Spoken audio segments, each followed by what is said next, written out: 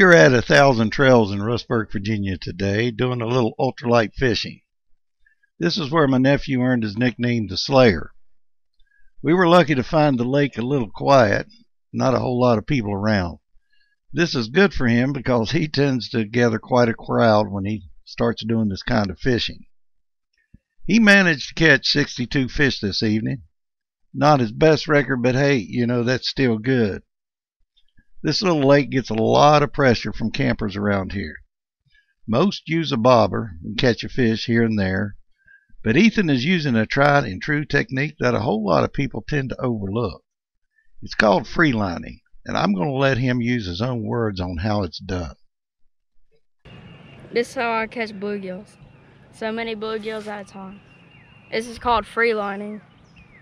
So you start off with an ultralight rod and some small low pound test line and a small hook and a piece of night crawler. Let's see the night crawling hook. See how small it is? Yeah. There's no weight, no weight at all, right? No. No weight. And then you just cast it out there. And don't mess with it till you get a bite. And just like that.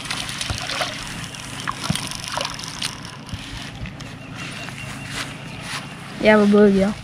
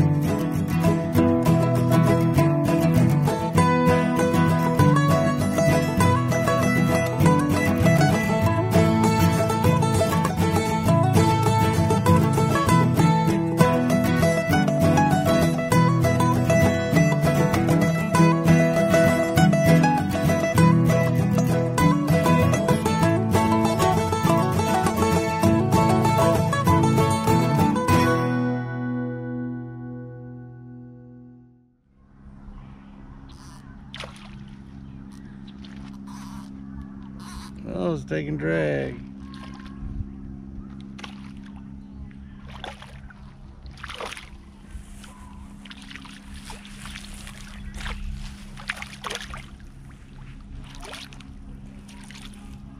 Oh my gosh, now what number is that one? 30. 30! Holy crap, you're gonna take a break. Nope. You're just gonna keep on catching them like that, ain't you? Bluegill slayers never take breaks.